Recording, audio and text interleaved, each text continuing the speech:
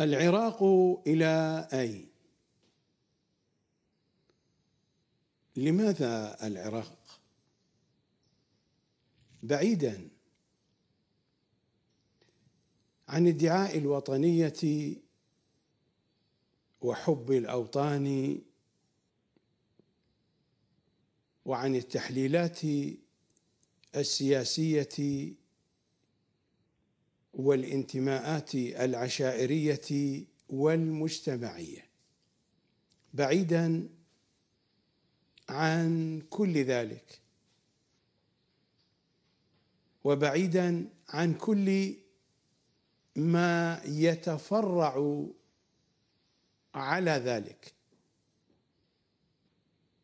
الذين ينتظرون إمام زمانهم يجب عليهم أن يوجهوا أنظارهم إلى العراق. لماذا؟ لأن أنظار إمام زمانهم متوجهة إلى هناك. لا أريد أن أقول أكثر من ذلك.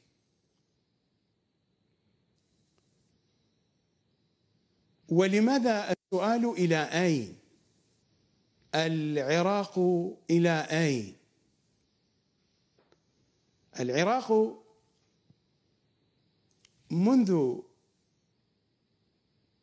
سنة 2003 للميلاد بعد سقوط النظام الصدامي البعثي المجرم العراق في خراب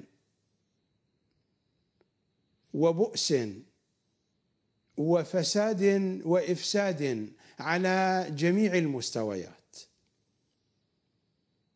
على المستويات المادية والمعنوية. والسياسية والاقتصادية. والاجتماعية والدينية.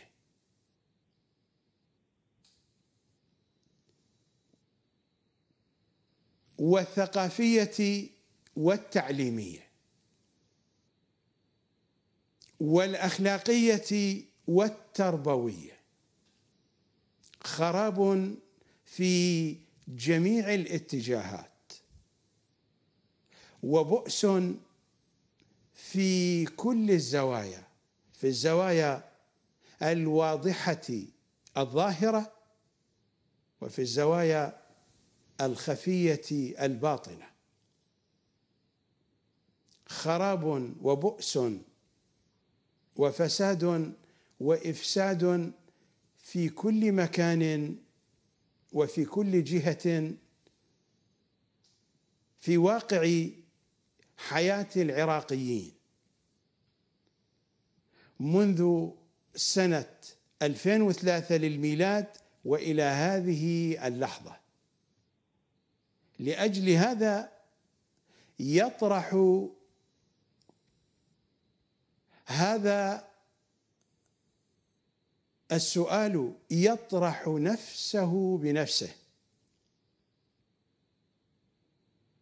العراق إلى أين؟ بين أيدينا صور. سأمر عليها بنحو إجمالي بحسب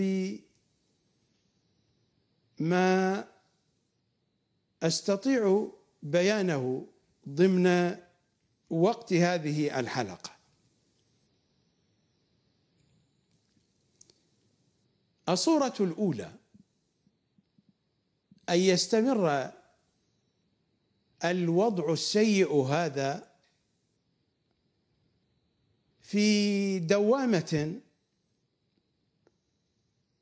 تكرر الأوضاع نفسها مثل ما هي ومن حالة سيئة إلى حالة أسوأ ومن الحالة الأسوأ إلى ما هو أسوأ منها. فالانتقال من سيء إلى أسوأ على طول خط الأحداث. أتحدث عن خط الأحداث التي مرت في السنين الماضية وفي أيامنا الحاضرة وفيما يأتي من سنوات المستقبل لأن المعطيات هكذا تحدثنا. ولأن النتائج تتبع المقدمات. المقدمات سيئة وتتحرك بالاتجاه الأسوأ. فإن النتائج ستكون كذلك أيضا. هذه قضية بديهية واضحة. فمنذ سنة 2003 للميلاد وإلى هذه اللحظة أوضاع العراق من سيء إلى أسوأ. وليس في الأفق من معطيات تقول من أن الأوضاع ستتحسن. لماذا؟ لسببين. السبب الأول انعدام منظومة الإصلاح والسبب الثاني هيمنة وتسيد منظومة الإفساد وليس الفساد. الفساد من آثار هذه المنظومة. هناك إصلاح وهناك إفساد. في العراق منذ سنة 2003 للميلاد وإلى الآن هناك انعدام لمنظومة الإصلاح وهناك تسيد لمنظومة الإفساد. منظومة الإصلاح تعني قيادة صالحة نخبة صالحة. برنامجا صالحا. جمهورا إن لم يكن صالحا بكله ففيه نسبة واضحة يمكننا أن نصفها بأنها صالحة وتسعى إلى الإصلاح. هذه منظومة الإصلاح. قيادة صالحة أكانت قيادة فردية أم كانت قيادة جماعية؟ قيادة صالحة نخبة صالحة. القيادة الصالحة من دون نخبة صالحة لا تستطيع أن تفعل شيئا. إن كان القائد فردا أو كانت القيادة جماعية. من دون النخبة الصالحة لن تستطيع القيادة الصالحة أن تفعل شيئا. ستبقى تراوح في مكانها. البرنامج الصالح. ولا أريد أن أقف طويلا عند هذه النقطة. ثم يأتينا الجمهور الصالح في نسبة واضحة منه أو على الأقل. هذا الجمهور يبحث عن الصلاح والإصلاح. هذا الجمهور يناصر القيادة الصالحة يناصر النخبة الصالحة يستمع بصدق إلى نخبته الصالحة. هذه منظومة افتراضية لا وجود لها في العراق لا بشكل كلي ولا بشكل جزئي. انعدام منظومة الإصلاح وتسيد منظومة الإفساد. فالقيادة فاسدة مفسدة والنخبة فاسدة مفسدة والبرنامج برنامج فاسد مفسد. لأن البرنامج يعتمد على معرفة وطلب المعارف من غير طريق آل محمد صلوات الله عليهم مساوق لإنكارهم.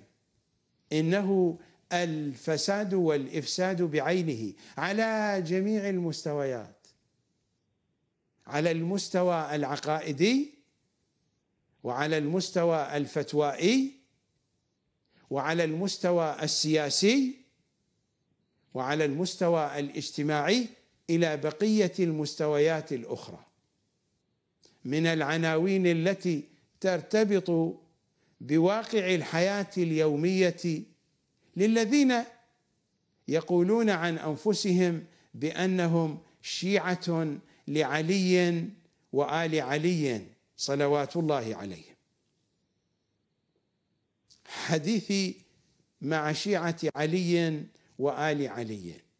حديثي حول شيعة علي وآل علي. لا شأن لي بالآخرين. الآخرون أحرار بأنفسهم وعقائدهم.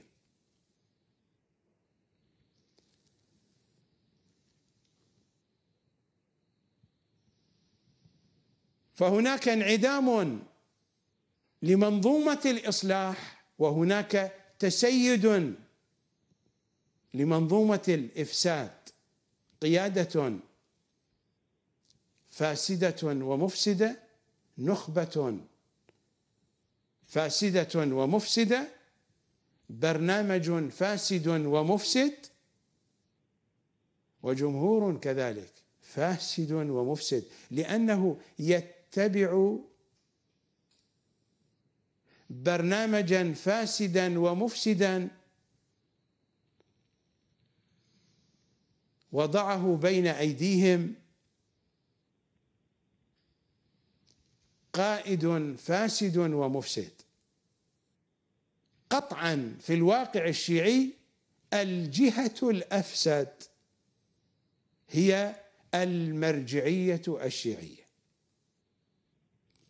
المرجعية الشيعية هي الجهة الأفسد.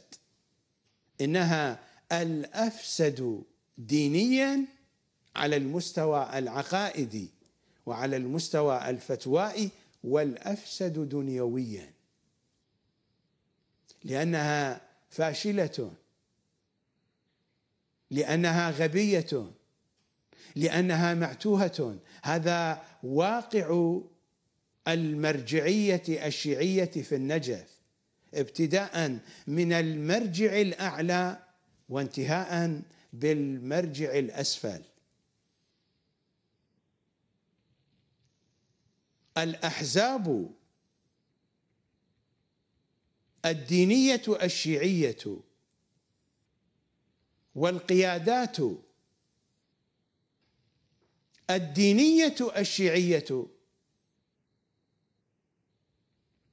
فاسدون من أولهم إلى آخرهم إلا أن فسادهم أقل بكثير وبكثير جدا. مهما كان فسادا عظيما هو أقل بكثير من فساد المرجع الأعلى وأولاده واصهاره ووكلائه ومؤسساته. مشكلة الشيعة في فساد مراجعهم وفي ضلال مراجعهم. ومشكلة العراق كذلك في فساد المرجعية العليا وضلالها. هذا هو الكلام الذي لا بد أن يقال على الأقل من وجهة نظري. قد تختلفون معي أو ربما تتفقون معي ذلك أمر راجع إليكم. عنوان هذه الحلقات كلام لا بد أن يقال. وما أقوله الآن على الأقل من وجهة نظري على الأقل بحسب قناعتي لا بد أن أقول هذا الكلام ولا بد لهذا الكلام أن يقال وأتمنى أن يسمع هذا الكلام لأن الكلام الذي لا بد أن يقال في الحقيقة لا بد أن يسمع. والحكم إلى عقولكم. إن كانت هناك عقول والحكم إلى بصائركم إن كانت لدينا بصائر نذهب إلى فاصل.